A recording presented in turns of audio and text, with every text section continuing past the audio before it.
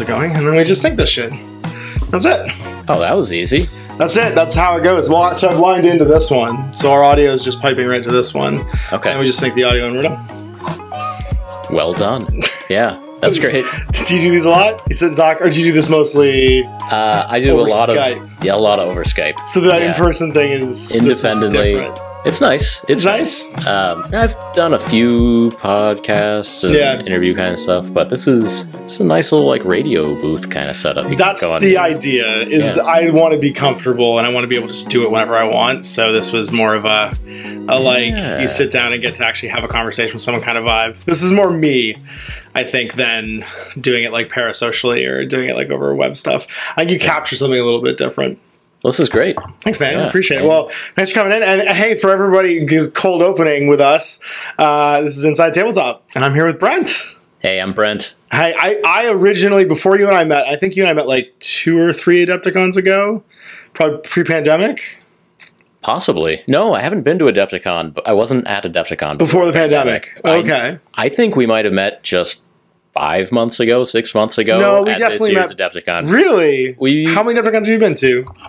Two. Okay, two. then, then yeah. both of the kind of post Post-pandemic ones. Yeah, okay, yeah. then yes. Then before that, you were the canoe guy. That Yep. was the, in my head. That was that was who you were, and that was your kind of like watershed moments. I think. Like, was that like your big first? The the big break was batch painting a hundred goblins. Okay. Yeah. Okay. So uh, the channel was cruising along as Yeah. typical small channels do, and then I hit a video that resonated, and the views went up and up and up every day for about a week. Oh wow. And so that's the only viral video that I've ever had in the sense that the views increase Really? day after day. Yeah, yeah, yeah. Um, so normally the experience for YouTuber is you drop a video, your audience comes and watches you on the first day, and then it tapers off after that. Got it. And that is the only time when the second, the third, the fourth, the fifth day were just higher and higher and higher. Just got bigger and Um, bigger and bigger. Yeah, and that's because I was starting from a small place, uh, but also, yes, the batch painting 100 goblins video is is what got the channel That's started. your watershed, eh? Yeah, yeah. Interesting. I, I, I think uh, for those of you who don't know you, uh, Brent, obviously you are the Goobertown Hobbies. Yeah, Yeah, you're known for your paint work, and you're primarily like a web creator for like uh, the art of miniature painting. Yes. I would say that's Yep. that's like your cool focus. Cool.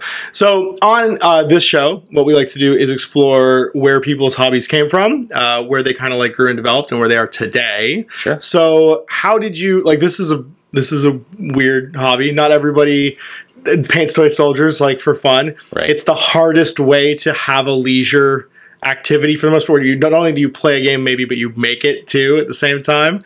So it's fairly it's fairly like um, I guess lots of people try it, not a lot of people stick with it. So what sure. was your like introduction to this? Where did you discover Right. this kind of stuff? So my nerd origins were Star Wars customizable card game. Okay. Yeah, so the this FFG is- one? Was it FFG? Final, Final no, Fantasy this Flight? was Decipher. Decipher. Okay. Yep. Oh, the one that got canceled. Yes. Yeah, okay. well, I think there have been three or four now. I think we're on the fourth The one 90s one. because this is the 90s Got one. it. Okay. Yeah. Yeah. Yep. There's a comedian named Jeff May who is a huge fan of that game, Ah. and I watched one of his shows called. Um, Oh, what's it called? I Must Break You, where he breaks packs, like he breaks packs of cards, and he finds old packs of that game and like breaks them open, and it's incredibly good. satisfying. Yeah, So good. And there used to be a smell to it too. For real? packs. Yeah, yeah. it's a whole Something about the experience. printer, the ink, Yeah. or whatever. It's just very nostalgic. And actually, at Gen Con a year ago, I found a seller selling old packs. I was very excited. Like, one, the, the experience of breaking open a pack is always dopamine. Sure, whatever. yeah, yeah. Yeah. Addiction. The unknown, the unknown, like Uh-huh. satisfaction of like getting something cool. Yep.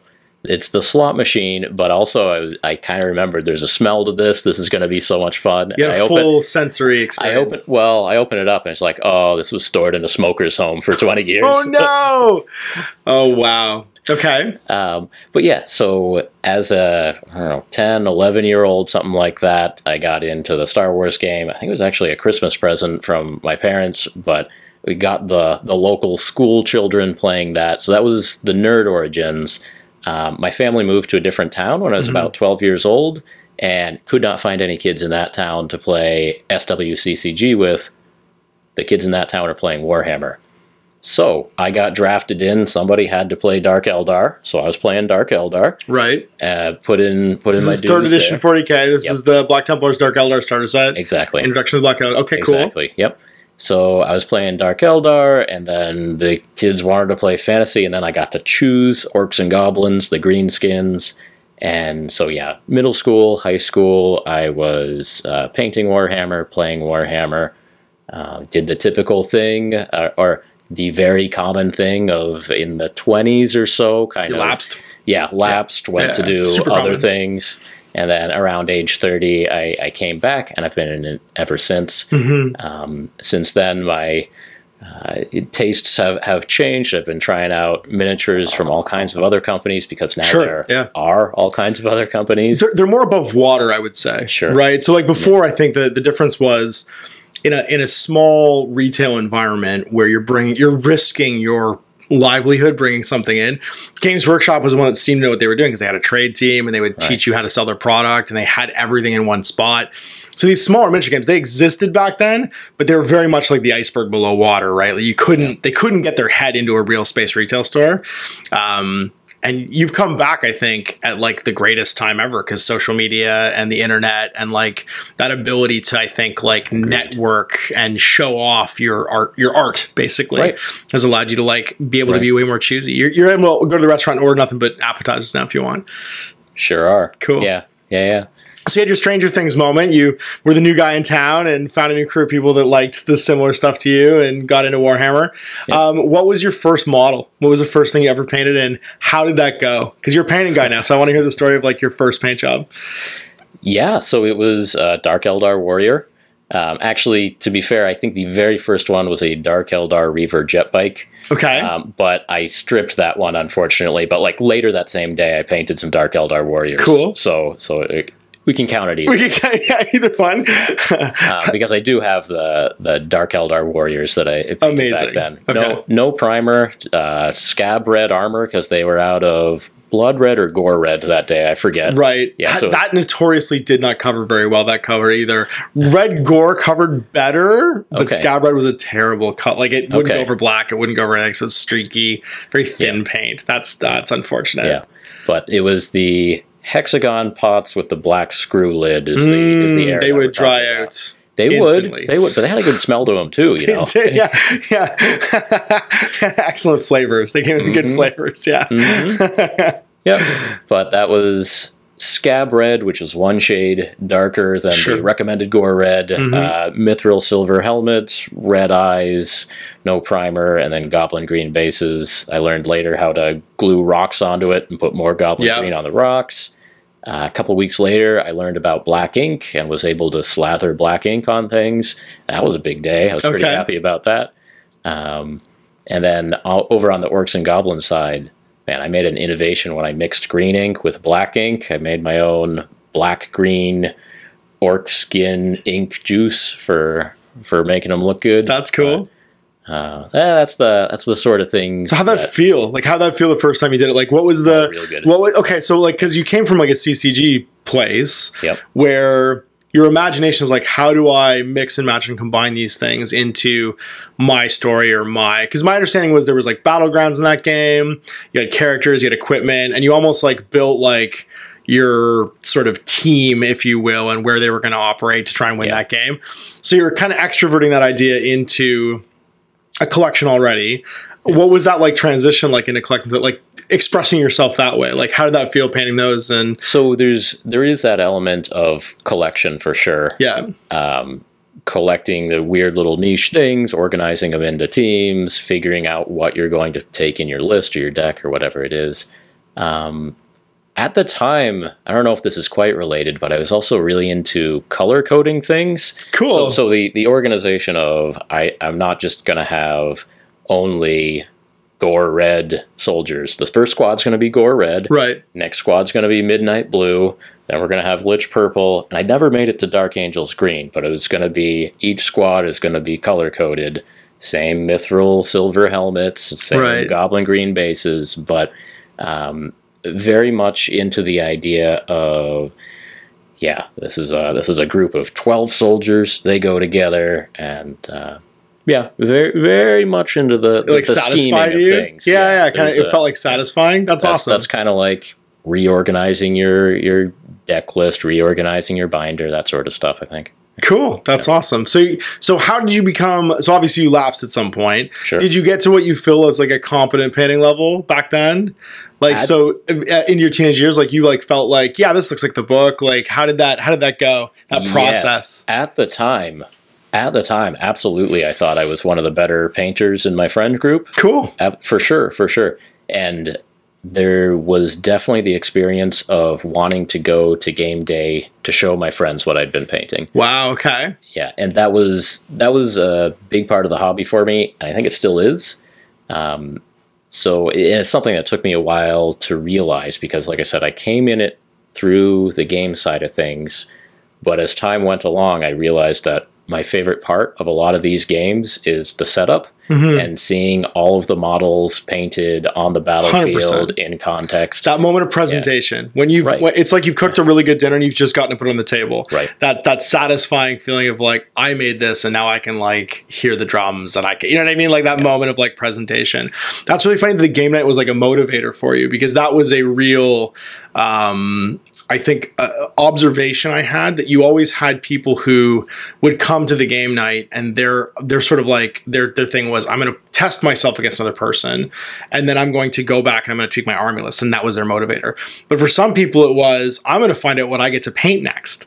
And it was it was that idea of like you come down to the game night and you would play a game and you go, "Oh, you know what? I played against so and so and he had this thing that well, I, I didn't have really an answer for. That's the thing I'm going to buy next, and I'm going to take that home to paint. it. And then lo and behold, the next week they'd show up, and that was like what they'd worked on all week and get done for like that game night. Was that Yeah. was that like really the the I, feeling? I think so. Yeah. I mean, I very clearly remember always knowing when the next game game day was Yeah. and knowing what I wanted to paint before then and being very excited to get these witches done so that I could bring them to game day Cool. or, or whatever it was. That was a weird era of Dark Eldar too, because they all had a very like they're all wearing like weird like David Lynch Harkonnen outfits. Like they all had Mhm. like like sort of weird kink kind of like stylings to them. They were very Right. strange. Yeah. It, it's very strange stuff and looking back at it like the models are not great and and if I were to come to it fresh I would not have picked those. Yeah, they're a mixed But, bag. They like yeah. two or three sculptors. The the Fitzpatrick stuff's really nice. Like Yep. the witches, Yep. the incubi, they're quite nice. I think one of the two archons was by Fitzpatrick too, and then the rest of it I think is like Gary Morley. So you have like the guy who sculpted Blood Yeah. Bowl sculpting elves. it's just not great. So it's it's fun to meet Fitz at conventions. yeah, yeah. So, uh, War Gods of uh, Olympus, yep, Olympus, yep. Yep. Yeah, it's his company. Yeah, Crocodile can- Games. Crocodile Games. You can really, you can really see the the the influence that that early sculpting in the Dark Eldar stuff, especially had with like his Yeah. Bastet stuff and like all of the like sort of like more almost feline featured Hmm. stuff that he has has that like pointed ears. It's very similar to like his old witches and stuff. His like witches from Warhammer um, Fantasy Battle and stuff too. Well, that's really cool. So then you lapse from ages what to what roughly like Oh, after university years. yeah, university years um, Um, is is the big lapse. I remember sophomore year, I did bring bring some Savage Orcs with me, and I had like a, a secret drawer in my desk. Yeah. Yeah, so like uh, friends come knocking, like time to go out party. Like just a minute, just a minute. Like, Just gotta put some pants on. You're putting away your dark elves, yeah. Uh, but no, most, mostly lapsed. Uh, yeah, uni- Right. university years and so on. White Dwarf was what kept in it for me because I always. So my parents would buy me anything that I could read. Like you know, how like your kid goes to the toy store and they would beg for like a toy or whatever. I wouldn't get models. I would if I, if there was a book or reading involved. My parents had this great rule where like whatever, go for it. You can have anything you want that you want to read. So like. White Dwarf was like a big thing for them because it was my monthly subscription of a thing that I always read like cover to cover.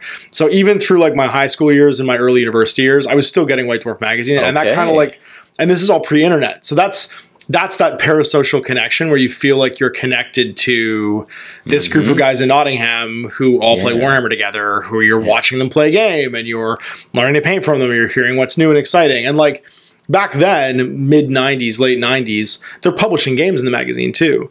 So like I played Mordheim a year and a half before it came out because it was published over four issues of White Dwarf. Same with Battlefleet Gothic. You get the full rules for Battlefleet Gothic in White Dwarf over like two or three issues. So like you you would very often be be like, I'm gonna convert up a Mordheim warband, and then like use whatever fantasy plastics at the time and already have your warband done when the box game launched that October for like the Christmas release schedule or whatever. Um, but that was it for me. Was White Dwarf was that was like my parasocial like I guess like IV drip like you had at that game night. Yeah. Yeah. Yeah, and I mean that's that's dead and gone now because the internet is that for everybody. Yeah. you can lapse you could lapse out of the hobby probably, not touch a brush, not touch a miniature for like five years, but because your social media is showing you like wargaming stuff, you're still somehow connected to it. Yeah. Like I don't think I don't think it'd be possible to fully la- like without going and like manually unliking all your favorite companies. I don't think it'd be possible for me to actually lapse from the hobby today. That's a good point. You know what I mean? Like I'm Yeah. having the marketing like shoved into my eye holes every time I'm going to the bathroom, right? Like you know what I mean? Or like I'm like just randomly doom scrolling on my phone. Like it's it's kind of like n- it's not really possible not to have some inkling of like what's going on and what's new. No, that's a good point. I mean, I remember university years pretty much once a year, like go home for Christmas break kind of thing, meet up with my old high school friends, go to the game store. So, Yeah. like, it was like something to do with my friends, my old high school friends, was to go to the ancestral game store and, and see what was there. And I remember being like, oh, they actually redid the wo- uh, the Wood Elves. you know, Yeah. Something like that, and then not think about it again for years. So, Yeah, yeah, yeah, exactly. Yeah, you could you could Fun. detach basically back then. Yeah. You can yeah, kind yeah. of like walk away from it and have it and have something else consume your interest. You know what I mean? You become excited about something else and have that take over like your your your what you're choosing to interact with. But these days, I think if you have a hobby, you're going to see that hobby everywhere. It was funny because earlier we were joking. I was like, "No, REI, I don't need to buy it. It's because I'm on REI's mailing list from years Forever. backpacking and you know like shopping at REI all across the United States. But I don't live in the United States anymore, so I still get these like random social media posts or email or whatever of what the co-op members can do today because I had this hobby. You know what I mean? I still have the hobby, but where I was, it was like targeted to me, like how I could interact with it, and it's it's gonna keep happening forever unless I go and I'm too lazy to unsubscribe from all those mailing lists. Understood. so so then you lapse. What brings you back? What gets you back into it? So it was actually at the gym. Um, the the guy who was helping me squat, so I was doing like a morning strength building gym class, Sure. and it was like me and the gym owner just hanging out there alone. Like, how was your weekend? How was your weekend? And Dirk, the gym owner, did a, a brave and outstanding thing. He said, "I had a great weekend. I was painting my toy soldiers." Nice. and it just in that context i mean maybe he knew me and like figured he could take that Sure. risk Yeah. that Yeah. social Yeah. Yeah. risk Yeah. Yeah. yeah and i said oh tell me more Yeah. and yeah he was painting i don't know something for Horus Heresy. I don't know what it was. It doesn't matter. The, the- but he was telling me that yeah, he's he's still into Warhammer, and he was one of my the, the people I hung out with back then. And he's like, yeah, if you if you have some stuff, come on over. And so I, I dug the Dark Eldar out of storage, Yeah. and uh, was playing a handful of games, the seventh edition, Sure.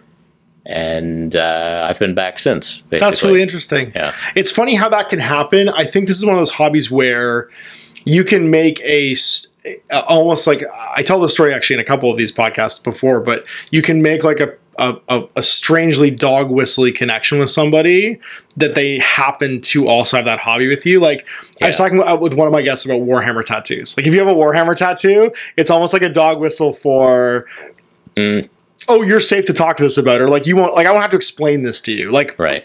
I don't actually think it's that weird to have interests like that anymore because I think there's No. interests that that are popularized by things like social media. Like travel is way more glamorous than it used to be. It used to be like the dirty backpackers. You know what I mean? Like it wasn't actually like a travel wasn't cool until social media made it cool. Like there's things that like become cool over time. Like D and D's become cool all of a sudden because Yep. you know you've got um, the uh, the Big Bang Theory basically telling you, yeah, you can have a pretty girl from next door still love you if you play D&D like all these things have kind of like mainstreamed these ideas but I find that those like weird dog whistly connections where it's like you've got a tattoo or you're wearing a shirt you know what I mean that has like a, a game reference on or something like that can like strike up those conversations now that's cool that you took that maybe you just looked like you knew what Warhammer was and he, and he Yeah, you can probably make that. yeah. yeah, yeah, yeah. But but no, there was there was no.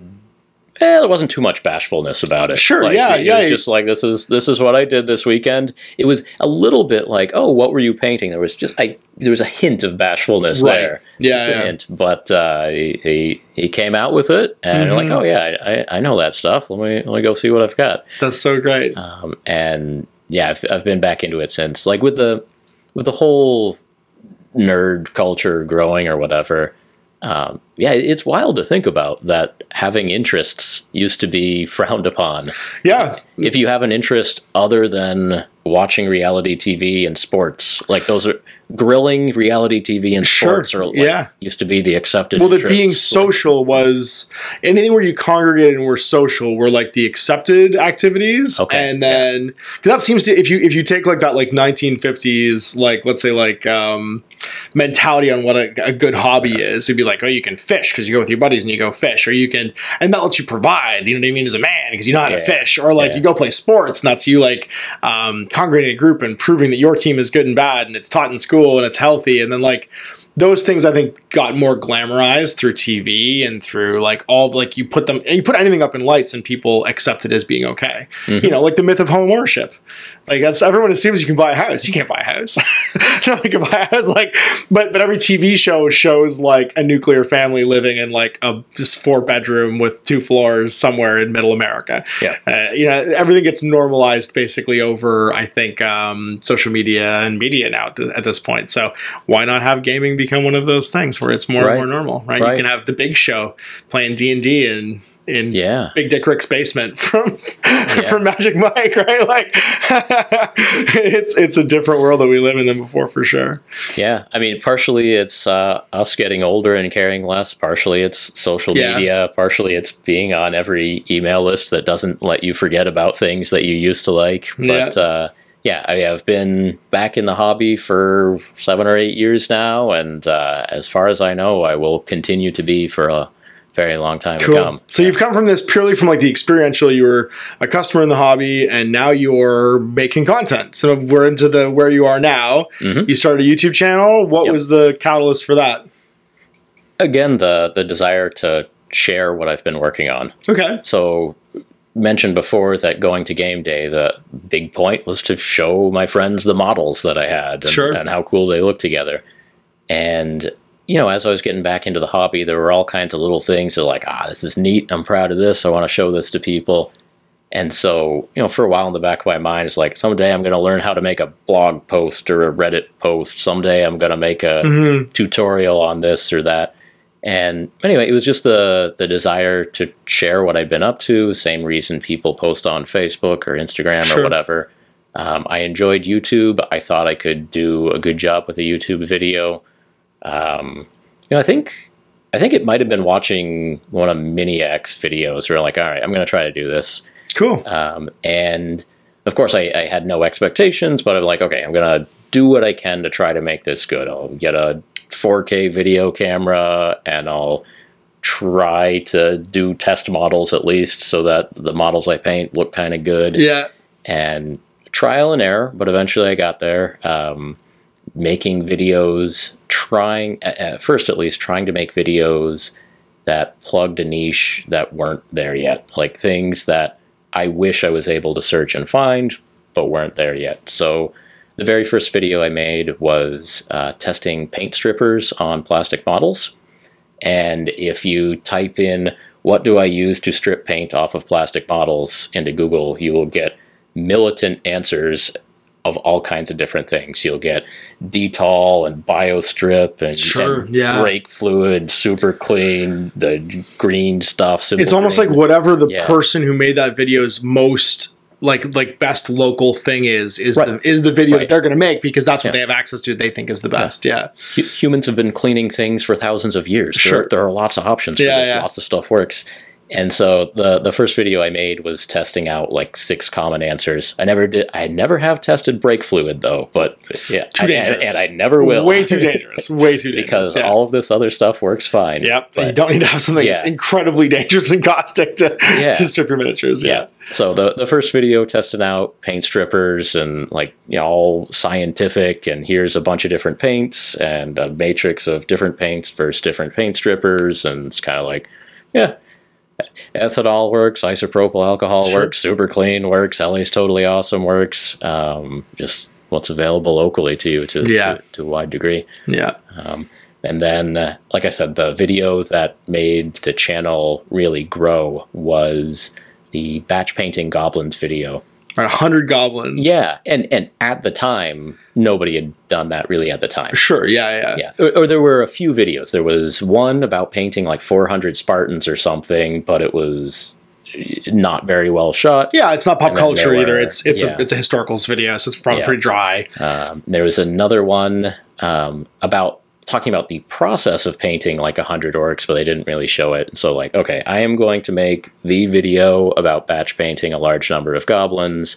I went through it. I got all the shots. I got the time lapses. I got close in video. I talked about the strategy. Yeah. How do Um, you speed up this process of getting a lot of things painted? So that was your intent, though, is like let's demystify. You can paint a lot of models Yeah. in a decent amount of time without having to like break yourself. and a lot of it was to teach me that stuff too like Okay. like a lot of this stuff is questions that i have that are not well answered on the internet or that there are conflicting answers out there Sure, that i want to, to test and figure that stuff out so you know, I've done other test videos about is primer really that important? Is varnish really that important? Um, that kind of stuff. Mm-hmm. Uh, when I have a question where the hearth wisdom, the passed down chicken soup, Yeah, level- whatever whatever the conventional wisdom is Yeah. for it. Yeah. yeah, and I, I like to test those things Oh, out. mythbustery. Yeah, Yeah, yeah, yeah, get, get, get an answer for yeah, myself. yeah, yeah, and try it for yourself and like document that process of you working out. Like, does this work? What works? What did I find? Here's one man's opinion. hmm Cool. Yeah. Okay, so that was that was the big one. Was this was this hundred goblins video? Yes. So then you became very successful, obviously, at the YouTube thing, and that that really like how did that change sort of your perspective on it? Because it started off as just like I'm just going to share some videos. Like this must take up a lot of your time and energy now. How's that? How how is that? What was that journey like? Yeah. Um, so I am now a full time YouTuber. Cool. And there was a point where, actually, when I started the channel, is I was starting to get a little burnt out at, at my current job. Right. And so part of the reason I was making videos is because I was doing a lot of hobby in my off time as like stress relief. For sure, yeah, yeah, yeah. That mundane task that like lets you defragment the hard drive basically because Right. you could focus on something and it, it Right. have an accomplishment. Right. And anyway, I was, I was figuring eh, it's probably about time for me to move on from my current job anyway and, and to figure out what's next. And um, yeah, I, I decided, like, you know what? I actually have something to at least keep me busy. So I, I have enough saved for at least a little bit of fun employment Sure. time of just, uh, yeah, decompressing, not having a, a nine to five or significantly longer than a nine to five to, to Mhm. go to. And so I did that, and the channel continued to grow. And uh, I uh, basically stopped calling myself unemployed at one point and started calling myself a YouTuber at one yeah, point. Yeah. Um, and the the biggest jump on that wasn't resigning from my job. The biggest jump was when I start to answer the question, "What do you do for a living?" with Yeah. the word YouTuber. yeah, yeah, yeah, absolutely, yeah. It's uh, it's very hard to explain to people, isn't it? surprisingly easy actually. okay, so it, it there's there's that like bashful instinct Okay. of like of this has never been considered a real job before I guess that's true. like, yeah, but like yeah at the at the doctor's office dentist office what have you in the you know typical small talk oh what do you do for a living and i say youtuber and actually these days yeah, it makes sense they're they're they understand it and they're also like excited and start to enjoy the small talk on, Sure, on their side yeah. things. Oh, what what do you what do you do? Like, oh, do pe- people watch that? People pay for that? Like, um, and that that was actually kind of a cool experience of seeing That's that that awesome. is accepted as a as a real profession because the. I think the dental hygienist was like most people just say they're an accountant, and then I don't have anything to respond to that with. Like, yeah. But they're like, "Oh, show me, show me your Instagram." That's like, so yeah, cool. That's awesome. So then, what's what's the goal for now? Obviously, you're making painting videos still. Mhm. Like, what's got you excited about being a YouTuber? Like, having turned your hobby into like a, a digital create, like a content creation journey, basically at this point. Yeah. I mean, that's a great question. Like, because that's the hard I- thing for yeah. me. Yeah, yeah. right? The hardest thing for me where is, is like going? The ten year it- it- plan? Not even the ten year plan, but just like how do I stay excited about it? Like constantly, it when when you are projecting out, right? When you're making things, Uh huh. there's two ways I think, in my experience, that you can approach it. You can react to what's coming to you, Like you can react to where the industry's going, what's coming out, what's new, what's exciting. If you watch YouTube, I think there's a lot of that out there. Mhm. People basically the the industry is doing one thing and their industry becomes either commentating or participating or creating something based upon that. And then there's there's like sort of like parallel like paths, but every time you're making something, you're like you're like putting energy out into the world. You know what I mean? And like doing that over and over and over and over again Yeah. can can start you can start to like it's almost like saying a word till it doesn't make sense. Like you're saying a word so many times, you're like, what am I even Yeah. doing anymore? And you get lost. So I don't know what that looks like for you. Well, well, I hear what you're saying. Uh, with anything that you do, burnout is a risk, and there's presumably a wall waiting for you at some point where you either you just suddenly rethink, "Why am I doing this?" Mm-hmm. And I, I can tell you with 100% honesty, I am not anywhere close. Well, I don't know if I'm close to that wall, but I know I have not seen it yet. I haven't even caught a Mm-hmm. I, glimmer. I would yet. argue that Yeah. people who've been doing this for a long time, they've already been over the wall, maybe. right? Like they, they didn't maybe they didn't realize at the time, but like to achieve a certain level at this, I think you have to have developed either like a conscious or unconscious strategy to remain enthusiastic and excited and hmm. and not just like because I don't think it's necessarily burnout. I think it's even the capacity to make something new. You have to have ideas come. I'm not Okay. talking so much more about energy, but about like cr- creative output. Like there's got to Yeah. be something in you that keeps you going. Like, oh, I think that's a good idea, or oh, I'm going to get excited about this idea, or here's this thing that I really want to make or try. Like there's a certain amount of like I think it's almost like an engine running. It can get out of time as you have to do it over and over and over again. I, I hear you. I Yeah. hear you. Yeah. So in what I do, the the core of Goobertown hobbies is painting miniatures. Sure, of course, and yeah. so on the very most basic level, there are infinity miniatures out there to paint. yeah, But you know, I understand that just today I painted this, today I painted this, today I painted this. There's absolutely a wall waiting somewhere Yeah, on yeah. path. Yeah. Um, and I am definitely still at a point where I have more ideas than I can possibly make for videos that are outside the just, you know, today I painted a Moldorf, today I painted a Battle Mm, Pig. Gotcha. Um, so painting techniques, um, trying out different glues, different all, all kinds of stuff. Like just just testing out all Yeah. kinds of different things, trying different painting techniques. Um, there are kind of educational videos that I want to make of, of trying to learn and understand something and then share that. Is that more the world. satisfying than just painting something? definitely- like, is that yes. thing fulfilled? Like, Yeah. that you feel fulfilled by that? if in, in terms of content production Yeah. yes absolutely um, so my my training is as a chemist and so one of the things that i can do that other content creators would have to work a lot harder to do is to be able to talk about materials material science Yeah. how the goos and goops and glues and stuff work Yeah, and so there's there's a subset of those that I, I do understand well enough to to speak about. You know, some of the way uh, you know the way super glue works, for example. Like I know enough about that to be able to share that information Yeah. and share the relevant aspects of that information that might affect what you buy and, and how you use it and all that stuff. And because that's a type of video that is difficult for other people to make or you're not getting from other sources, like I think that adds a lot of value. And I think there's uh, definitely appreciation there from the viewers, which makes me feel good, which makes it rewarding. And so that type of video I really like to make. Now, um, in, in the example of I painted a Moldorf archaeologician Yep. for to make a video uh, called I painted a Moldorf, Moldorf archaeologician. Yeah. I I thoroughly enjoyed the three, four, five hours I put into painting Sure. this model, Okay. and I think I got some crisp looking footage of it. And I want to, you know, I would like to share that at, at least on Instagram to be like, look at this cool thing I Yeah, made yeah.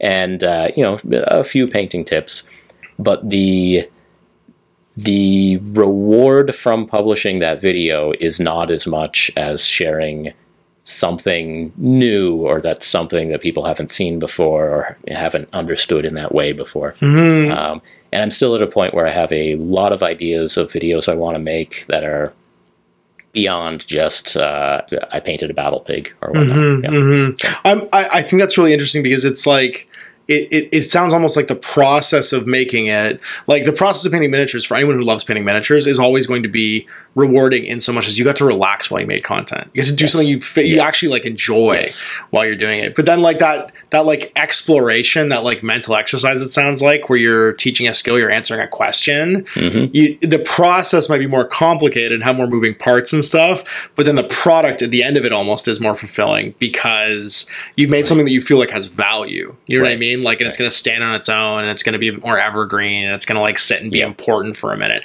I can definitely relate Yeah. to that. For me it's um it's i think why i get such a pleasure out of doing indie games is i like the cooking and the preparation part of like assembling just the right terrain and getting the miniatures all painted and doing something unique where like I, no one's ever done it this way before and i'm the one doing it. And then that satisfaction uh, satisfaction isn't even like the recording of the videos. It's the moment right before i start making the videos where it's all in front of me and it's just the way i imagined it.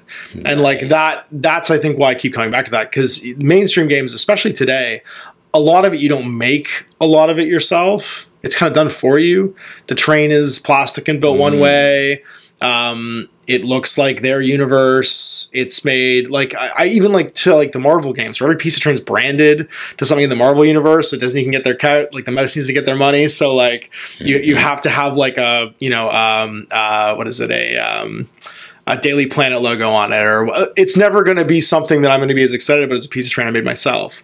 And so the the satisfaction I think of delaying it all, it's still there, but it's not the same as if I like I I got to extrovert like my own imagination onto the table. So I can understand that feeling of fulfillment where like you've made something that's like no one ever no one else has ever tested these four chemicals and no one else could because they don't they're not a chemist they're not me they can't speak about it like this when it's all said and done. Right. And so it was 10 times more work doing it. It wasn't, it was tangentially hobby related. It was more like how the sausage gets made. But when it's Yeah. done, you sit back and you look at it and you're like, yeah, I Yes. that. That's cool. Yep. That's awesome. And so there's enough variety of that kind of related to the hobby, but not just plugging along. So that I think I'm gonna, I think I'm gonna stay interested and Yeah, for sure. for a long time. And I, I should say that as time goes on, I realize that I really, really enjoy the like the process of painting. I enjoy being at my painting desk, moving the paint around, Mhm. um, and that is a, a core level of enjoyment for me.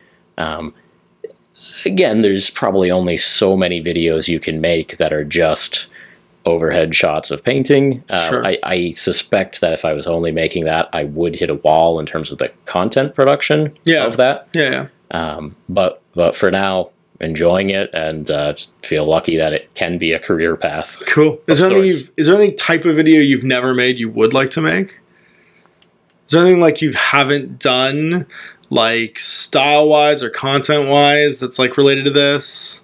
Because you did some stuff that a lot of content creators don't do. Like you did, you did capture of footage on a canoe, man. Like that's not Oh yeah, That's not, you know what I mean? Like you did some stuff that was very interesting to me because it like it displayed you. A lot of content creators, it's like there, there's a there's an element I think creeping in across all content being made on YouTube of this like people kind of they have like their I don't know. It's almost like a you get dressed up for it. It's almost like a, a content creator cosplay where people are kind of like dressed for content creation. So they mm-hmm. they look like they're going to the club a little bit, right? You went and got in a canoe, and it gave you this aura of like I don't know. It was like relatability, where it's just I'm gonna talk about something I like doing while I'm doing something I like doing. You know what I mean? Like I've I'd never seen that before in anything. So I'm just curious about how that came about, and like if you're ever gonna do anything different like that again. Well, I've tried the canoe a couple of times, Yeah. and uh, I haven't quite made back. I definitely have not made back the money I spent on GoPros. Yeah, I was gonna say. yeah. uh, yeah, that was I, again. I, I like to be outside. I like paddling Sure, around. Um, I thought it was visually very cool, especially when I did get a, a GoPro. yeah. It turned out really well. the The first time I tried it, I just took my my camera that I use for YouTube. I put it on a tripod. I balanced a tripod in the front seat of the canoe. Whoa, you gambled Yeah. big on that one. Yeah, yeah, yeah. yeah. Well, uh, maybe I'll lose four hundred dollars. Maybe I won't. Yeah, but I haven't right, flipped yeah. my canoe over yet. So, It's true. Yeah, yeah, yeah. It's pretty safe for sure. um, but anyway, the I tried that out, and well, yeah, it was a weird risk to put your camera in a canoe. But I got back and I looked at the footage. It's like it just looks really cool. It's Like, very cool. Yeah. uh, I I understand how you know nature camping style videos do it now because like the footage looks awesome. Mm-hmm. Um, And it's But- like an ex- it's more it's experiential.